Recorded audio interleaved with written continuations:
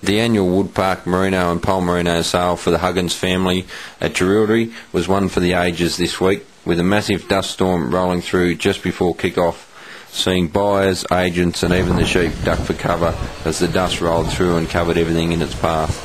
After some strong wind, plenty of dust and then eventually some light rain, the dust cleared and the sale could get underway where 109 of 120 rams topped the $2,800 and averaged $1,203 across the board, with a full report to be in next week's land. 14, 14, 14, 14, 16 down there. Bucket 16, 16, midway up down there.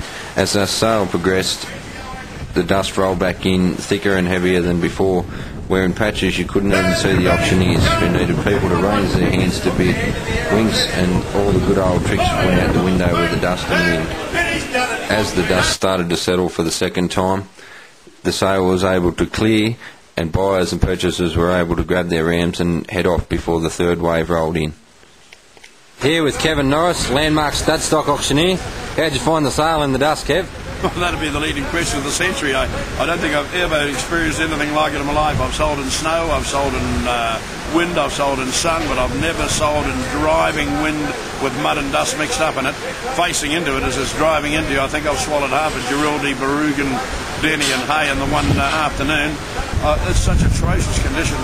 We're lucky we got away with the sale. At times could hardly see.